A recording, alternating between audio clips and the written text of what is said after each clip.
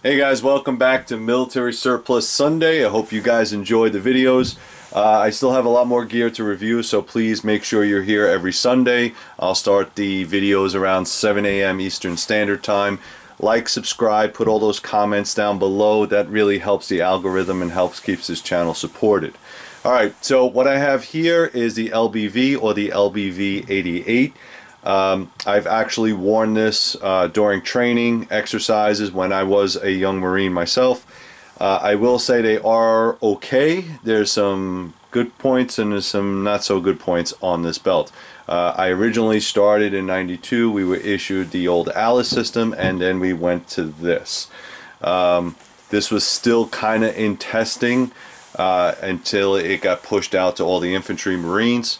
Uh, it was more of a uh, special forces type of rig before it came to the regular units. So I'm just going to give you a little bit of the history. The IIFS Individual Integrated Fighting System was introduced in 1988 to serve a fighting and existence carrying system, a possible replacement for the old Alice. Um, the Alice has been fielded by the United States Armed Forces since 1973, so this kit right here was made to replace it. The IIFS or LBV replaces the partially obsolete concept of the shoulder harness in the style of suspenders and individual equipment belt design with the newer concept of a tactical load-bearing system that employs a vest. The vest is being the main component is also known as the TLBV, Tactical Load-Bearing Vest, sometimes referred to as the LBV-88 or the M1988 LBV also known as the Enhanced Tactical Load Bearing Vest. Okay, we just call it the LBV. Uh, the, uh, let's see, the um, LBV has its conceptual roots in combat and load bearing vest systems, and it was designed by Natick Laboratories for employment to use by Navy SEALs during the Vietnam War. Trial variants of the LBV have utilized both Alice water canteen cover Alice Field first aid dressing case and woodland camouflage pattern and entrenching tool cover uh, remained unchanged and was also utilized during testing. Uh, the original design as well as during troop trials and tactical load carrying vest incorporated panels made of Kevlar to improve the protection of the infantry riflemen when worn in conjunction with the personal armor system or group for group troops. Flak vest. Okay, basically what they're saying is they're talking about the flak vest. The weight of this prototype was very prototypic was very considered to be too excessive to continue to consider this concept. So what they tried to do was add armor into it. it didn't work, obviously because it's too heavy. Along with the tactical load carrying vest, a new individual equipment belt was later introduced featuring the black plastic ITX Fastex quick release buckle and redesigned adjustment system. The original concept included the use of earlier earlier renewed individual equipment belt and featured a gray style release buckle which I don't have on this anymore uh, commonly referred to uh, referred to due to its early prestige manufacture as the Bianchi pistol belt. I do actually have the new Bianchi pistol belt. It was decided instead of contracting a new Alice component with woodland camouflage bottom that the remainder of the already existing widely available Alice components will be utilized with the IIFS or LBV. Uh, these being mainly the water canteen cover, field dressing, aid case, entrenching cold, and small arms ammunition cases. Like the Alice system, along with the same concepts, the IIFS is broken down into fighting load and existing load. In 1995, due to the issues concerning the chest back ventilation caused by the non-breathing fabrics incorporated, the tactical load carrying vest was redesigned and officially redesigned the ETLBV. No changes in the national stock number have been made. The two major modifications have the slant have been the slant of the magazine pouches inward for easily removal for easier removal of small arms magazines and the exchange of fabric panels which retain the body heat bolt suited on front and back with lighter mesh panels. The IIFS continually rapidly replaced the modular load was replaced by the load M the MOLLE module lightweight load carrying equipment. So what they had done is they replaced all this. They replaced the panels. I have this kind of splayed out, but this is what they were talking about. The panels were replaced. Um, when I first got issued this, there was no mesh. Then they got the mesh ones. Alright guys, so before we even get into this, I just want to give you guys like the overview.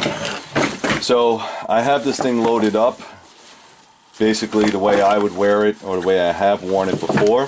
There are plus and minuses to this belt. Like I read before in the history of it, um, this is the new Bianchi belt. This Bianchi belt uh, is probably the new issue one. It has the black plastic buckle. Uh, the adjustments are on the side. Uh, if you have the older one, it will work. The older one was the gray buckle. The gray buckle Typically, if you look on eBay or Amazon, they're only in size medium. I am no longer a size medium, so it doesn't fit. You could buy these brand new on Amazon. So the belt is going to be one cost and the LBV or the LBV 88. I know they call it something else, but this is what we're calling it. All right. Uh, you're going to look at about 50 bucks for the vest itself. On this vest, if I splay it out this way, you can see these panels right here. These panels right here are mesh. So you have mesh mesh mesh and mesh on the other side. That was to help for ventilation. Now this gear the LBV does not come with any type of body armor or any type of ballistic armor. Uh, you were supposed to wear your issued flak jacket and then wear this over it to carry all your ammunition. What they had done is they decided that instead of carrying your cartridge or your magazine pouches on the belt itself, they moved it up into the into the chest area. Typically, what you would call today a, uh, a uh, either you would use a plate carrier or a chest rig. So they were already on it back in 1988. All right. So what you would do is you would put your magazines. These carry three on the top pouch and one on the bottom pouch. So you're only able to carry six on the vest itself and then if you wanted to add more magazine pouches you would have to use the old Alice system and then you could put them on the belt alright uh, this allowed you a little bit lower profile. The only difference is you do not have any modularity. These things are completely sewn in to the vest itself. You have two grenade pouches that are also sewn into the pouch. You have one on each side. Again you cannot move those what I have in here is just, I, know, I have this old style tourniquet. Alright, tourniquet, this is pretty old. I don't know if it has a date on it anymore, but this is the old style tourniquets that they were issuing. I doubt you could find those anymore. And then in here, I would either put like a compass or something like that, okay? There is no internal pockets at all. All right, if I can get the, uh, let's see, do I have the NSN number? Yeah, the NSN number is 841501 uh, 296 8875. And it just says Vest Tactical Load Bearing Enhanced. That's all it is. So it's the Enhanced Tactical. All right. Take a little bit of walk around this thing. You, the, the thing that's great about this is the fact that it's a major improvement, in my opinion, over the old Alice system because of the padding. The padding is quite robust, as you can see. you've got about two and a half inches of padding. It's quite comfortable. It does have latching, so if you needed to put something inside here, you can. It's still using some of the old metal Alice clips, or I should say buckles. So this was kind of replaced with most of the plastic nowadays, but these was still in style back then. Up here, you could you could run something through here or add another Alice pouch. So what I would do is on one of the sides you could either put like a like another pouch or a grenade pouch and put make that your admin kit if you wanted to. Also, if you had to run a, um, a radio, you can run the radio through here so it's not flipping up. Same on both sides. These are adjustable. They are not adjustable at the vest side. They are just sewn in. Okay, they're just sewn in. As you can see, they're sewn all the way through here. Okay. You do have adjustments on the side. The adjustments on the side come with the 550 cord and then has this lock right here so you would adjust it to your kit and then you could lock it in Uh, I've never seen these be able to hold anything, so what we used to do is we would just uh, use duct tape. All right, we would use duct tape for that. As a matter of fact, you'll see on a lot of the uh, surplus kit, you'll see a lot of these are, will come taped up. Uh, the reason is you don't want it to get caught on anything and also you don't want the buckles to unlatch, all right? On the rear, again, on the rear of the padding, you'll see it also has the same clips, all right? These are metal clips all the way down uh, to this back panel, all right? As you move around, you'll see, again, it has the mesh. The difference here is instead of just having a straight strap, you have this little mesh panel that also hooks to the side all right, so that's going to give you a little bit more stability when you hook it onto your uh, flak jacket, or when you wear it over your flak jacket, I should say. It does come with plastic rings. In my opinion, I think the plastic rings were ideal for holding this up. Now this happens to be uh, an, a newer generation butt pack. I know in the Marine Corps or in the military, I don't think we use butt packs anymore. We just use assault packs. Uh, but this was still big. This was the transition from Alice. Um, you can still put in Alice in here if you needed to, if you wanted to bring this pack up. Uh, this out, this butt pack itself is newer. Let's flip it around a little bit more. I'll show you a little bit more. On the other side, again, you still have more adjustments. So you have more adjustments on the right side, as again with this uh, 550 cord and this lock. Again, this lock never really worked all that well, so we would just tie it off, lock it up, and just put some uh, duct tape or fi uh, 500 mile an hour tape on there okay? And then again all the way around. Now what I have here is a typical loadout. You don't have a lot of space on here okay? What the Alice did for us was it allowed one belt with very little connection. So you had two connections in the front that would hook to your magazine pouches and two in the back that it would either hook to the belt or it hook to your Alice I'm sorry your butt pack. So you had that what this system does is it uses strapping and buttons. So if this is my regular belt, you can see that there's a lot of strapping or I would say buttons connections all the way around the belt which takes up a lot of real estate. So if I just showed you the inside of this, okay, give you a better view, okay, if you look at the inside of this, you can see almost every piece of real estate is either taken by Alice clips or the strapping of the vest itself. It doesn't allow a lot of space. Now, you're not supposed to be loading this up, you know, all that heavy anyway, but if this is your load fi fire, I'm sorry, load bearing kit, um, you need to have your ammunition, your water, your food, your sustainment, your first aid, all that stuff. It takes up a lot of space. Granted, it's a lot more comfortable and you don't have to carry all this stuff. It's completely up to you. But as a gunfighter or somebody that is in the military, this would basically be your loadout.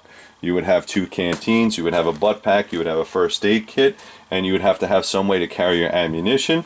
Uh, on here, I just put a bayonet. All right, this is the, it's probably uh, M9 Ontario bayonet. It's a little bit heavier than the regular bayonets that we were issued. This again was also a pretty cool prototype. Uh, you can clip it on, clip it off, but it was made for the, ca the cartridge belt. All right, two canteens. All right, my canteen, I have water purification in there. Canteen, canteen cup. This does happen to have the old um, thing for the gas mask so you can is gas mask ready? I think this is actually one of my issued ones. I still have it. I probably should have returned that. Sorry guys if you're watching. I know supply's gonna be pissed off. Inside here it's just a regular old butt pack. Now the butt packs that you get on I want to say eBay are probably going to be the training. They're going to look like this all right? They'll probably be a little bit beat up but this one still has its rain fly on it. Um, it's made of, I think, nylon or Cordura. And I just have like gloves, cold weather gear, gear in there, bandana, one MRE. All right, which one is this? Chicken noodles. Chicken noodles and veggie sauce. Mmm. Um, cami paint, butt wipes, lighter, that kind of thing. All right, so it's going to have the typical kit. Now, I would also, if I was going to go on a long ranger, long range LRRP or whatever it is, I'd also get my ranger roll. Ranger roll consists of your poncho, poncho liner. And on these, you would strap it underneath. Okay, you'd strap it underneath. Like I said, this one came with that, that was already taped. I didn't do it. It actually came like that. So uh, you would put that on there, and this becomes your assault pack or sustainment pouch. On this side, same thing, just another canteen. And then again, on this side, over here, I have my first aid kit. Now this is the old style first aid kits. Again, we haven't progressed to the actual IFAK yet. The old hard plastic case. Let's see if I can open it for you. Alright, just throw some gloves and some stuff in there. Um, it's funny how times have changed. Um, when I first got into the Marine Corps, it was 1992. We didn't really care too much about first aid. I know it sounds crazy, but we haven't had too many war conflicts uh, until later on. And then Desert Storm kicked off, and then a whole bunch of other stuff kicked off. Okay, so we, we got better with the first aid kits, but all the way from Vietnam all the way through then, it, there wasn't too much going on. Uh, now we have the pull-out kits, the IFAKs, the tourniquets, all the great stuff that are saving guys' lives. All right, so it's really important that you have this. Sometimes what we would do is, as an SOP, we would take these and we would put it on the side of the butt pack. That's why the butt, most of the butt packs have these two uh, MOLLE straps on the other side. I'm sorry, not molly, uh, Alice straps on each side, so you can attach other kit to it. I never really liked that. If it was SOP, it was SOP. I didn't like that because it always wound up, this hard plastic always wound up digging into my side and it was never very comfortable. So, uh, another thing that they also, if you can find one, which was really good, is they had a pad that would also connect to the cartridge belt itself. Um, I used to have one, it would snap on. Again, you're taking up more real estate on that belt. If you can find one, I would put one on. Reason is because all these little metal strips will wind up digging into your side.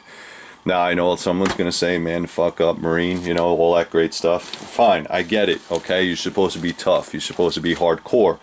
The problem is, is that once these things start making little burr marks into your skin, uh, you can get infected, all right? And a lot of times you would have Marines get sick get hurt because we're in sand, we're in water, we're in really nasty conditions, and these things, after I don't know, miles and miles of walking around or rucking around with this kind of stuff digging into your side, it creates sores, it creates uh, damage to your skin, you get infection, you get sick. Okay, so it's not really worth it.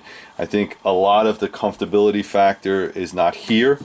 I think that you eat up a lot of real estate, but in my opinion, this was a better improvement over the Alice simply because the padding got a little bit better and then they moved the uh, the old cartridge belt or the old um, uh, magazine pouches up to the top.